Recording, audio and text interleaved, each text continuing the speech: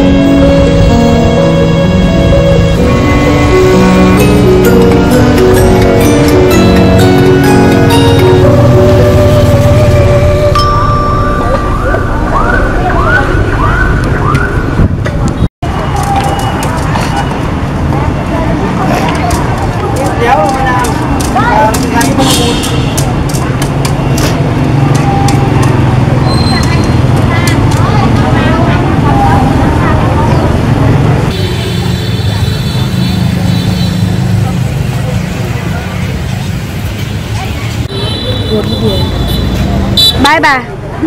Lý do nào khiến bà làm việc bán hàng mua rau này à?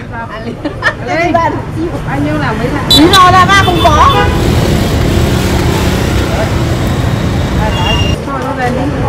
Ờ, bên à Ba không có, kiếm Không về đâu. Vâng ạ.